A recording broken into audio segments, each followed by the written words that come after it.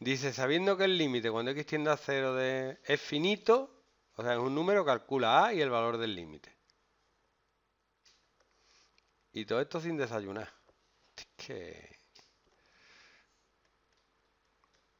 Entonces, lo primero que hay que ver es, porque hay veces que tienen muy mala leche y te lo ponen para que no tenga que hacer el hospital ni nada. Para que la gente caiga. Vamos a ver. Coseno de 0, 1. Menos. Elevado a 0, 1. Más. A por 0, 0. Arriba da 0 y abajo da 0. Pues nada. Lópita que te crió. Y el otro fallo común ya sabes tú cuál es, que la gente hace la derivada de la división y no, es la derivada del numerador entre la derivada del denominador. La derivada del coseno de 3x es menos seno de 3x por 3, pero el 3 fuera. Menos elevado a x más a.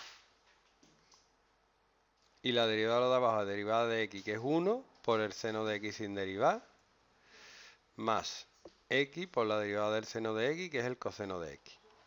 Si ahora sustituyo el 0, me queda 0 menos elevado a 0, 1 más a.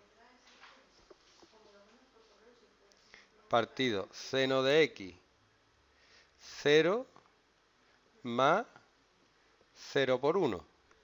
Y ahora viene lo bonito.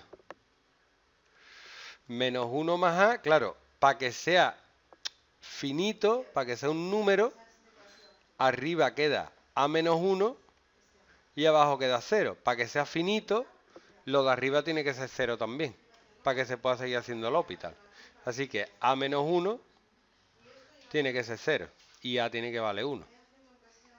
Y ya sabiendo que a vale 1, se puede calcular el valor del límite volviendo a hacer L'Hopital. Bueno, la derivada de 1 me va a dar 0, así que... Derivada de menos seno de 3x por 3 sería menos 3 por la derivada del seno, que es el coseno de 3x, por el 3, que es la derivada de dentro. Menos e elevado a x, a es 1, no se deriva. La derivada del seno es el coseno, más la derivada del primero por el segundo sin deriva, coseno, más x por la derivada del coseno, que es el menos seno. Ahora, si sustituyo el 0, me queda arriba. Coseno de 0 es 1, sería menos 9. Menos 1 partido coseno de 0, 1. Más 1 menos 0. O sea, menos 10 partido 2, menos 5.